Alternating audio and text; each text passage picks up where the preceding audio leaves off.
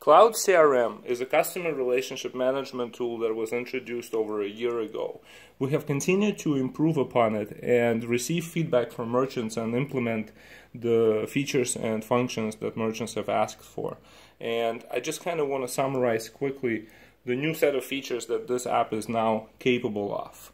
So first, we can show you a lot more customers than you know customer app can on a native Clover device. This thing will go forever, whereas uh, I believe that the customer app will have a limit of how many customers it can show. We also have customer types, right? So you can edit and manage those. We have an ability to completely control the customer field.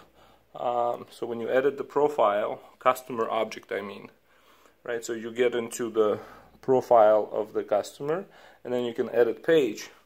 And then here you have all the fields um, and you can control the position of these fields by just simply moving like so the fields around right? You can make them required or optional. You can turn them off.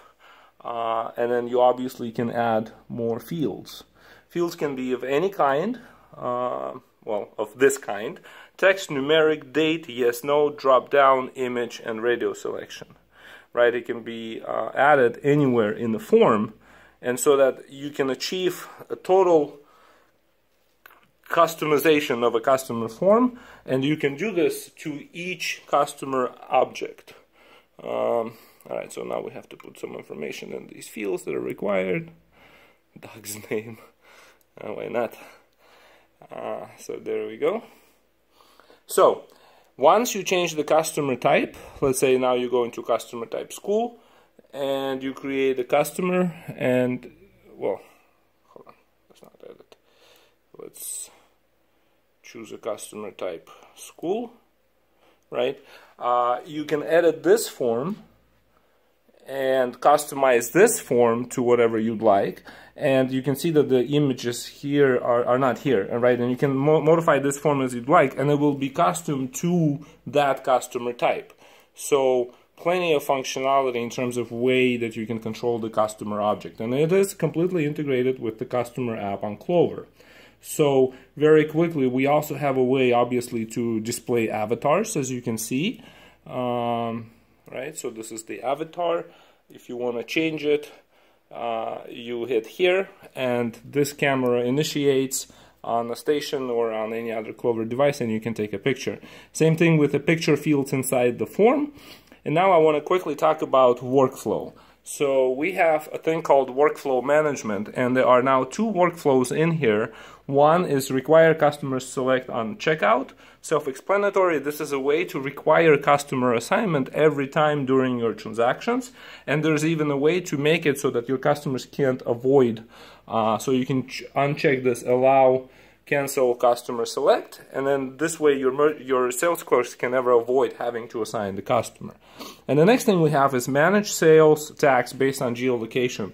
Given the new reality we feel that there's going to be a lot more activity online to which then you'd have to drop ship your merchandise and sell it to uh, and send it to your customers. And because of this we've integrated cloud crm with geotax changer at no additional cost so on this integration, I already have it. Let me just go ahead and turn on. And so see, there it is. We, we, we ship to customers, customer location trigger sales tax. And, you know, it tells you that you can have this app for free if you have Cloud CRM. Now, let me go ahead and go back. So we have this turned on, everything is edited. And so I'm going to go ahead and hit register and this is already an existing transaction out of which we're going to exit. And I'm going to hit register again. And there it is. So it's requiring me to assign the customer and I can't avoid that screen. I have to require uh, assign the customer. And as soon as I did assign the customer it tells me this is your customer location and the last time you have utilized this sales tax rate with this particular customer on that location. You can go ahead and save it and then it'll change the sales tax rate to that percentage for that transaction or you can cancel. So let's go ahead and save. So there it is. It now changes the sales tax and we can go on with the transaction. And the sales tax now is charged at that percentage. So that's um, Cloud CRM in a nutshell in five minutes. There you go.